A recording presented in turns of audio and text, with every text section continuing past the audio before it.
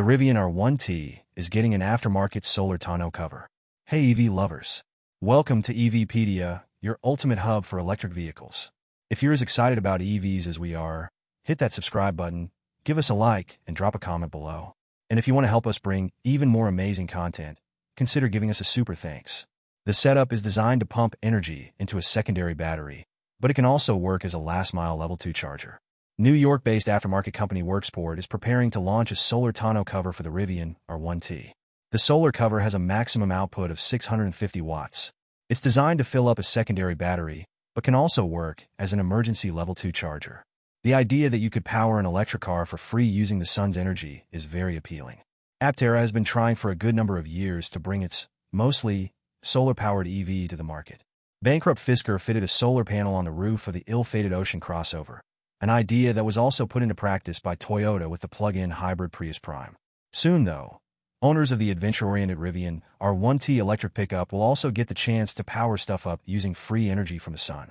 That's because Worksport, a New York-based company specializing in aftermarket tonneau covers, is working on a solar bed cover made specifically for the American battery-powered truck. Called the Solis Folding Solar Tonneau Cover, it's made from three or four individual solar panels that fold on top of each other to access the bed. According to its maker, it has a maximum power output of 650 watts, which isn't exactly impressive from an EV charging point of view, but that's not necessarily its point. While it can work as a level 2 last-mile charger for the R1T, the main purpose of the solar tonneau cover is to recharge a secondary, smaller battery for things like tools, an induction cooktop, or laptops. Worksport said the Solis is part of a so-called truck bed power system that also includes a battery, a solar controller, and an inverter.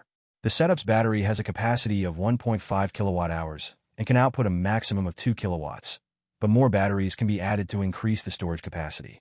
The company claims a single battery needs two and a half hours to recharge from the sun using the large, four-panel cover, and that EV owners will save roughly $500 per year by not having to top up their cars at DC fast chargers.